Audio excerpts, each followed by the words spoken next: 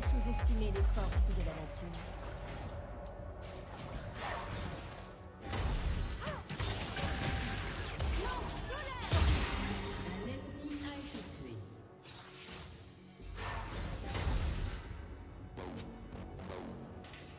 Soyons dès aujourd'hui les roses de la vie.